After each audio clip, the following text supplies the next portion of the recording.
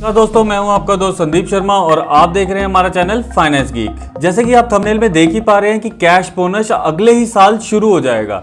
तो क्या कोई ऐसा प्लान हो सकता है? तो दोस्तों, बिल्कुल हो सकता है ऐसा प्लान उस प्लान का नाम है एच लाइफ का संचय पार एडवांटेज। दोस्तों, अगर तो आप मेरे चैनल पर पहली बार आए हैं और आप धीरे धीरे अपनी फाइनेंस नॉलेज भी बढ़ाना चाहते हैं तो कृपया करके मेरे चैनल को सब्सक्राइब कर लीजिए और बेल बटन को भी प्रेस कर दीजिए। तो चलिए आज का टॉपिक डिस्कस कर लेते हैं, जो कि है एच डी लाइफ का संचय पार एडवांटेज प्लान तो ये एक non linked but participatory plan है। नॉन लिंक्ड का मतलब मार्केट से इसका कोई लेना देना नहीं है, मगर पार्टिसिपेटरी का दोस्तों मतलब होता है कि इसमें कंपनी अगर कोई प्रॉफिट कमाती है तो वो उसका एक पार्ट आपको भी देगी। तो अगर कंपनी जितना भी प्रॉफिट कमाएगी, उसी हिसाब से वो डिक्लेयर करेगी कि आपको कितना प्रॉफिट देना चाहती है तो उस उस प्लान को कहते हैं पार्टिसिपेटरी प्लान तो ये एक non link participatory life insurance plan है फ्रेंड्स लाइफ कवर की बात करें फ्रेंड्स तो इसमें हंड्रेड ईयर्स तक आपका लाइफ कवर चलता रहेगा। यानी कि आप विन विन सिचुएशन में ही हमेशा रहेंगे। हंड्रेड ईयर्स एक बहुत लंबा पीरियड होता है। आज की, आज के ज़माने में देखा जाए तो हंड्रेड ईयर्स जीना एक अचीवमेंट के बराबर हो जाएगा फ्रेंड्स अब जो इसमें दोस्तों आप अपने बेनिफिट्स लेना चाहते हैं, जो भी आपके पे आउट्स होंगे, उसमें आपको एक तरह से फ्लेक्सिबिलिटी मिलेगी. जिस तरह से भी आप चूज़ करना चाहते हैं इमीडिएट चूज़ करना चाहते हैं तो आप इमीडिएट चूज़ कर सकते हैं. डेफरल आप देना चाहते हैं तो डेफरल भी कर सकते हैं. वो हम आगे डिस्कस करेंगे. चलो दोस्तों प्लान ऑप्शन डिस्कस कर लेते हैं। पहला जो प्लान ऑप्शन आपको मिलेगा, वो है इमीडिएट इनकम यानी अगर आप इमीडिएटली इनकम लेना चाहते हैं कि मुझे अगले साल से ही इनकम चाहिए तो आप ले सकते हैं। अगर आप डेफरल इनकम लेना चाहते हैं तो वो भी आपको मिल जाएगी। यानी कि डेफरल का दोस्तों मतलब होता है कि कुछ देर आप पेमेंट देंगे, फिर आप कहेंगे, मुझे उसके बाद पेमेंट लगा दो। अगर इमीडिएट पेमेंट की बात करें दोस्तों तो आपको एक, दो चीज़ें मिलेंगी। एक मिलेगा आपको कैश बोनस अगर कंपनी डिक्लेयर करती है, क्योंकि मैंने आपको पहले ही बताया, ये पार प्रोडक्ट है प्लस आपको मेच्योरिटी पे अमाउंट मिलेगा। यानी अगर आप हंड्रेड साल तक ज़िंदा रह गए तो आपको वो अमाउंट भी मिलेगा। एक मेच्योरिटी अमाउंट मिलेगा। सेकंड अगर डेफरल इनकम की बात करें फ्रेंड्स तो उसमें आपको मिलेगा एक guaranteed income plus cash bonus यानी अब देखने की बात दोस्तों ये कि इमीडिएट में आपको क्या मिलेगा? सिर्फ़ कैश बोनस मिलेगा, मगर जो डेफरल है डेफरल में आपको कैश बोनस भी मिलेगा और एक गारंटेड इनकम भी मिलेगी। गारंटीड का मतलब दोस्तों गारंटीड होता है कि आपको फ्रॉम डे वन पता होगा जब आप पॉलिसी परचेज करेंगे कि आपको कितनी गारंटीड इनकम मिलेगी। ये किसमें आपको मिलेगा दोस्तों? सिर्फ़ डेफर्ड इनकम वाले ऑप्शन में।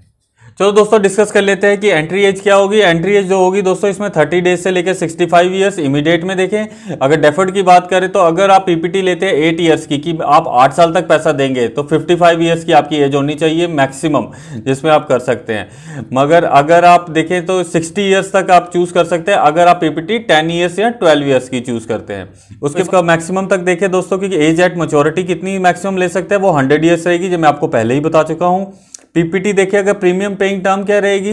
दोस्तों इमीडिएट इनकम में लेना चाहते हैं तो छः साल, आठ साल, दस साल, बारह साल, कुछ भी आप ले सकते हैं। उसके बाद अगर डेफर्ड इनकम की देखें तो उसमें आठ साल, दस साल, बारह साल, तीन ही ऑप्शन है। पॉलिसी टर्म की बात करें तो हंड्रेड एज आपको मैक्सिमम मिल जाएगी minus age at entry age for example अगर आपकी एज थर्टी ईयर्स है तो आपको मैक्सिमम सेवेंटी ईयर्स का ही टर्म मिलेगा। तो दोस्तों मिनिमम समय शॉर्ट की बात कर लेते हैं। मिनिमम समय शॉर्ट कितना मिलेगा? मिनिमम समय शॉर्ट रहेगा तीन लाख का। मैक्सिमम पे कोई कैपिंग नहीं है नो लिमिट रहेगी। वो डिपेंड करता है कि अंडर राइटर क्या सोचता है। जब आप प्लान लेते हैं, वो डिपेंड करता है आपकी इनकम पे। थर्ड पॉइंट आता है मिनिमम प्रीमियम दोस्तों, इसमें आपने कितना देना है? वो ट्वेंटी इसमें मिनिमम रहेगा। इससे कम आप नहीं दे सकते। तो चलिए दोस्तों इमीडिएट इनकम को समझ लेते हैं। अगर कोई मेल जिसकी एज थर्टी ईयर्स है, वो ये प्लान को ऑप्ट करता है और वो कहता है कि मैं वन लाख का प्रीमियम पर साल, हर साल दूँगा। तो वो कैसे इसको ऑप्ट करेगा? और उसको क्या क्या बेनिफिट होते हैं? वो देख लेते हैं। अगर उसकी ये थर्टी ईयर्स है तो जो मैक्सिमम उसको पॉलिसी टर्म मिलेगा दोस्तों, वो होगा सेवेंटी ईयर्स का।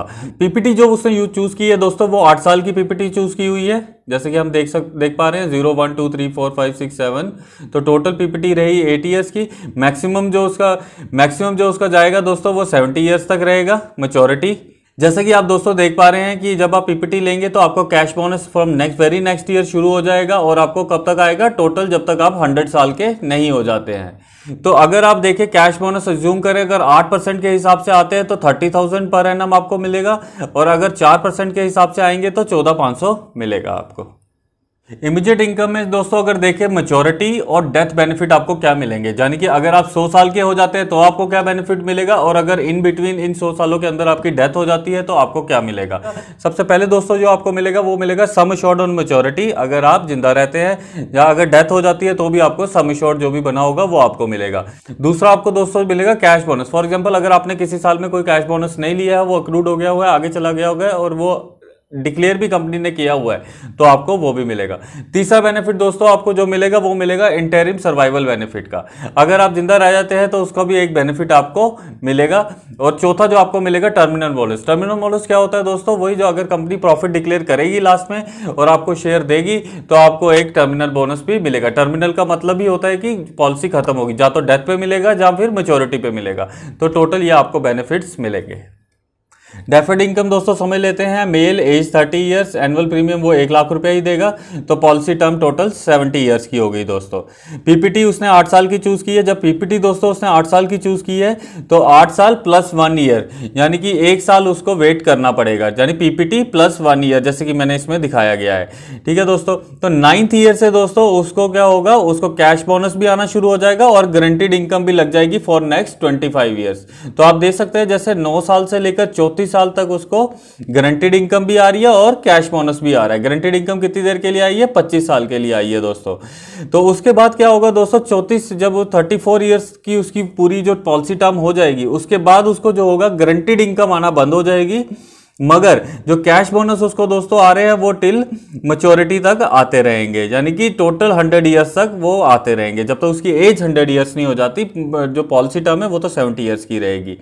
तो कैश बोनस जो रहेगा दोस्तों, वो मैं अगेन बोलता हूँ, वो अज्यूम्ड है। जो अज्यूम्ड लेते हैं हम, यानी कि अगर कंपनी डिक्लेयर करेगी तो आपको मिलेगी।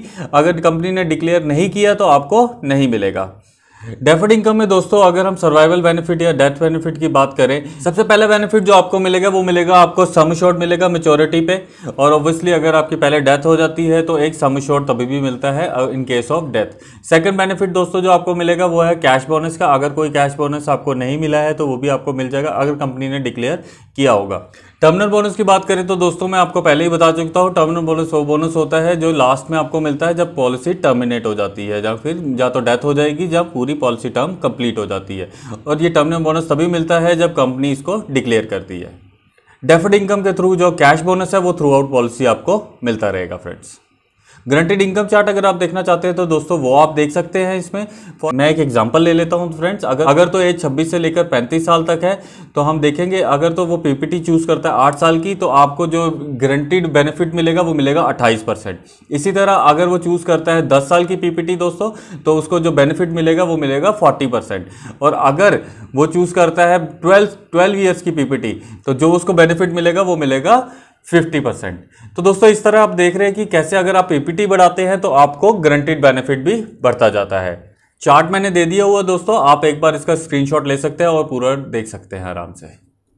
ग्रेस पीरियड की बात करें दोस्तों तो 15 डेज़ का ग्रेस पीरियड रहता है दोस्तों। अगर आप कोई पॉलिसी आपने मंथली मोड पे ले रखी हुई है तो अगर आपने एनुअल बेसिस पे ले रखी है या किसी और मोड पे ले रखी हुई है तो मैक्सिमम आपको 30 डेज़ का ग्रेस पीरियड मिल ही जाता है दोस्तों। सरेंडर की बात करें दोस्तों तो एक टर्म बहुत यूज़ होती है, वो है जीएसवी यानी कि गारंटीड सरेंडर्ड वैल्यू ये गारंटीड सरेंडर वैल्यू का आपने ज़रूर अचीव करना है। अगर आपने ये नहीं ली तो आपका नुकसान हो जाएगा। अब इसका मतलब क्या होता है? गारंटीड सरेंडर वैल्यू का मतलब होता है दोस्तों, कि दो साल तक आपने प्रीमियम ज़रूर देने अगर आपने दो प्रीमियम नहीं दिए तो ये आपकी जो गारंटीड जीएसवी है, जो गारंटीड सरेंडर वैल्यू है, ये आपकी ज़ीरो हो जाएगी एक तरह से।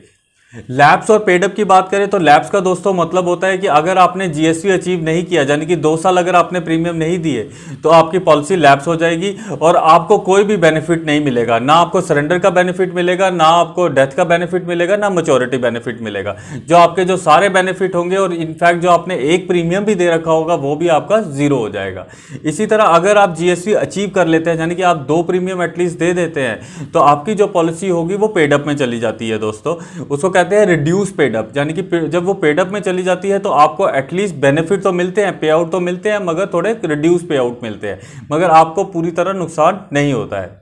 रिवाइवल की बात करें दोस्तों तो कि अगर आप अपनी पॉलिसी रिवाइव करना चाहते हैं तो कंपनी आपको मौका देती है, आप अपनी पॉलिसी को रिवाइव कर सकते हैं। जो भी आपके, जो आपने प्रीमियम पे नहीं किए जो आउटस्टैंडिंग है प्लस कुछ कंपनी इंटरेस्ट चार्ज करेगी, वो आपको उसके बाद आपकी पॉलिसी को रिवाइव कर देगी। इसी तरह देखें कि रिवाइव में इंटरेस्ट कितना लगता है तो दोस्तों, वो नियर अबाउट आपको जो इंटरेस्ट लगता है, वो लगता है आपको नाइन के हिसाब से। राइडर की बात करें दोस्तों तो दो राइडर ऐड किए गए हैं एच डी लाइफ के इस प्लान में। पहला जो जो पहला राइडर दोस्तों आता है, वो है एक्सीडेंटल डिसेबिलिटी राइडर अगर इसकी बात करें तो इसमें जो है सम शोर्ट का एक परसेंट आपको अगले 10 साल के लिए हर महीने मिलेगा। अगर खुदा ना खास्ता एक्सीडेंटली आप डिसेबल हो जाते हैं। इससे दूसरा राइडर जो दोस्तों ऐड किया गया है वो है क्रिटिकल इलनेस राइडर इसमें दोस्तों 19 क्रिटिकल इलनेस डाली गई हैं। खुदा ना खास्ता किसी को ये 19 में से कोई भी क्रिटिकल इलनेस हो जाती है और वो 30 दिन तक सर्वाइव कर लेता है तो एक समय शॉर्ट कंपनी उसको पे करेगी।